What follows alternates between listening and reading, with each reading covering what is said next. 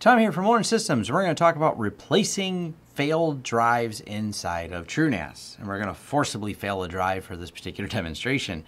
Now, the failed drive scenario is based on the resilience level of your system. Now, it goes out of scope, and I have other videos that dive deeper into different configurations for ZFS arrays, but this particular array can suffer a drive loss without a problem, and we can rebuild it.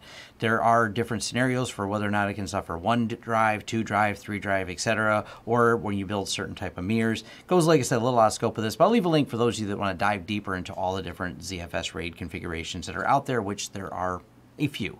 Other notes, this is a 320 gig hard drive, and these are 320 gig hard drives.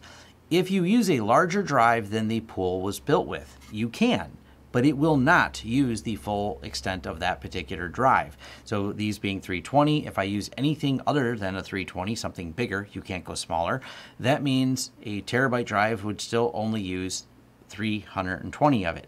So you end up with a bunch of dead space on the drive. But sometimes when you're dealing with older drives, we've run into this problem before, you have only one drive of a failed array and it's hard to find that older, smaller drive. So it's not a big deal to put a larger drive in. It just won't take full advantage of it.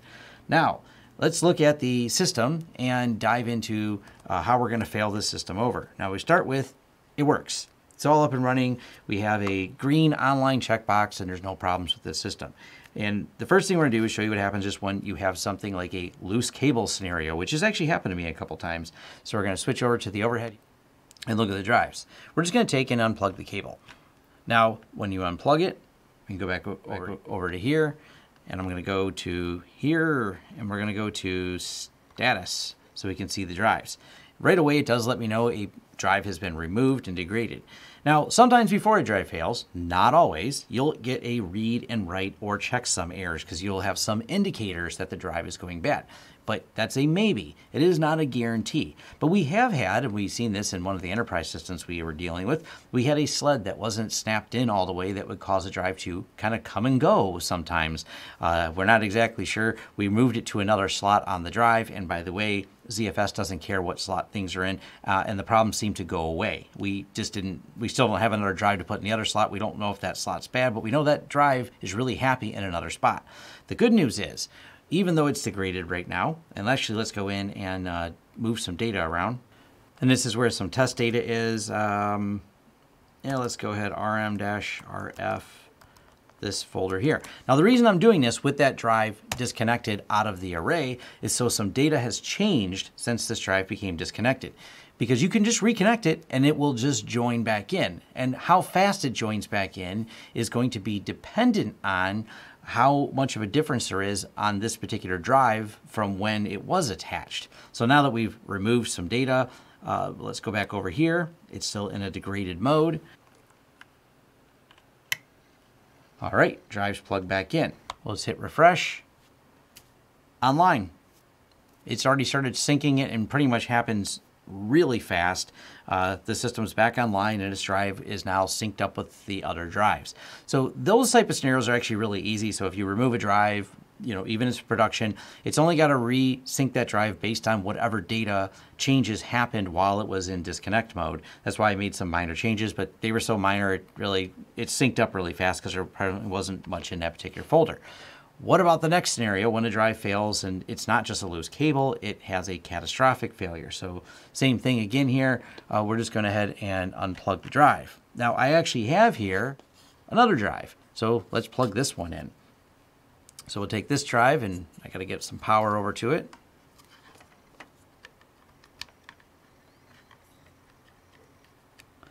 All right, now we have a different drive plugged in.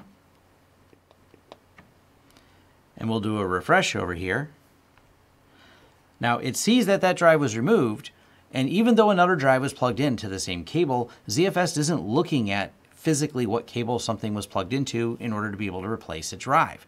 ZFS actually goes and determines like if this was part of a pool and it wasn't. So it says, well, you added a drive, but it wasn't a drive we expected. Therefore, this is where manual intervention comes in to actually replace this drive. So we go here, we're going to choose replace. only disk that's extra in there. Now I'm using the force command because I think there's data on this drive. Force means don't ask questions, don't do anything, just erase it. Just I'm not worried about the data on the drive, but if it does detect or something else on there, that is why it has a force option. So we'll go ahead and hit replace disk, replacing, formatting,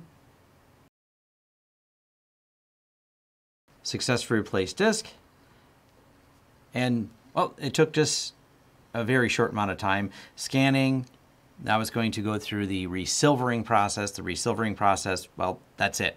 It's now taken the data from the other drives to rebuild the pieces of data that need to be on this particular drive. And we have successfully replaced the drive into this pool. Now, this question seems to come up quite a bit of can you expand the pool and all that. That's out of scope of this. I have a video I'll link to about expanding VDEVs where you can add another VDEV, but no, you can't, like as I stated before, just keep popping more drives and you can only replace the existing ones. Now, one more note, these other two drives happen to be the boot pool, and I'll show briefly where those are. I've covered how to add to an existing in another video about backing up FreeNAS that I'll leave a link to of how to replace one in the boot pool or add to a boot pool that doesn't have one. But the concepts work exactly the same, but when you look at the boot pool, it's under system boot and not under the ZFS pool. Then you go to actions and you'll say boot pool status but the commands are the same. You can remove one, of course, because it's just a mirror, but there's the replace. You would choose the extra member disk and submit, and that's how you would replace one if it was one of the boot pools that had gone bad. So kind of the same concept, just a different location for those of you wondering how to boot pool. So hopefully this is helpful, and hopefully you're not watching this in a panic attack wondering what to do. Um, it's actually provided you have your array set up and with enough resilience that losing a drive isn't that big of a deal, it's really not that big of a deal to replace a drive. You can go in there, get the drive replaced. Now, one thing of note, uh, this particular board is older and doesn't always like hot swapping, so it sometimes requires a reboot when I swap drives around, but it's inconsistent. Uh, most modern boards are going to support hot swapping, especially if you're using any enterprise equipment, and when they do support hot swapping, it's no big deal. All this can be done live without any real, you know, takedown. So if you're actually working on a production system and you don't have the um, well let's say you don't have the availability to shut it all down. Yes this can be done in real time. That's one of the reasons the hot swappable racks are so popular. And because drives fail especially under heavy load or just over time or just for no reason at all occasionally it feels like uh, that's why they usually have the you know easy to get two bays in the front. All right and thanks. And thank you for making it to the end of the video if you like this video, please give it a thumbs up. If you'd like to see more content from the channel, hit the subscribe button and hit the bell icon if you'd like YouTube to notify you when new videos come out. If you'd like to hire us, head over to lawrencesystems.com, fill out our contact page, and let us know what we can help you with and what projects you'd like us to work together on. If you want to carry on the discussion, head over to forums.lawrencesystems.com where we can carry on the discussion about this video, other videos, or other tech topics in general. Even suggestions for new videos, they're accepted right there on our forums, which are free. Also, if you'd like to help the channel out in other ways, head over to our affiliate page. We have a lot of great tech offers for you. And once again, thanks for watching and see you next time.